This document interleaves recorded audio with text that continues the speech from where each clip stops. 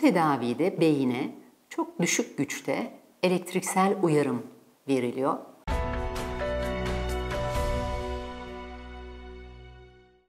Elektrokonvülsif terapi ya da halk arasında bilinen adıyla şok tedavisi, psikiyatride oldukça sık kullandığımız, uzun yıllardır kullanılan ve etkinliği bilinen bir tedavi şekli. Bu tedavide beyine çok düşük güçte elektriksel uyarım veriliyor.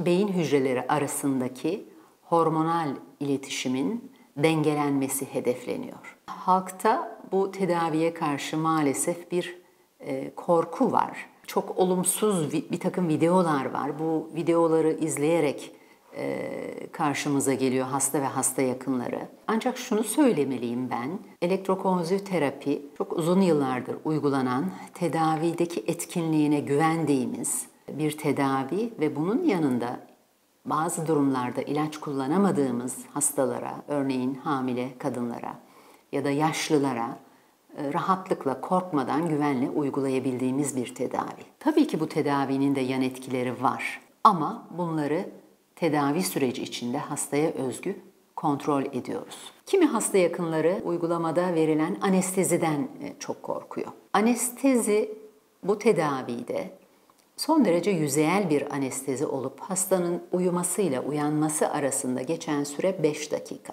Tedavinin kendisi ve beyinde oluşturulan etkinin süresi 20-30 saniye hedeflenen.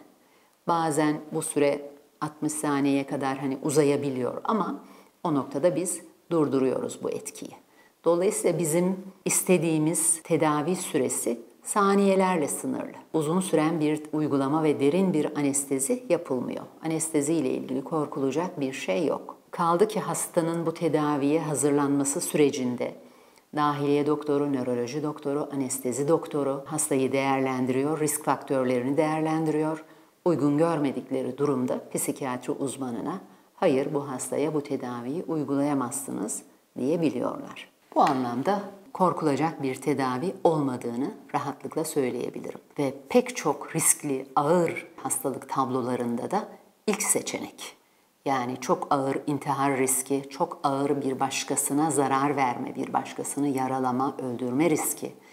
Yine çok ağır anoreksiya nervoza dediğimiz yeme bozukluğu, hastanın ölüm riski altında olduğu tablolarda hayat kurtarıcı. Benzer şekilde alevlenmiş şizofrenilerde çok ağır alevlenmiş mani ataklarında hızlı bir düzelme sağlaması sayesinde hastanın hızla toparlandığı ve tedaviye uyum sağlamasını gördüğümüz bir tedavi şekli elektrokonvülsif terapi. Konuyla ilgili daha detaylı bilgi için web sitemizi ziyaret edebilirsiniz. Sağlıklı günler dileriz.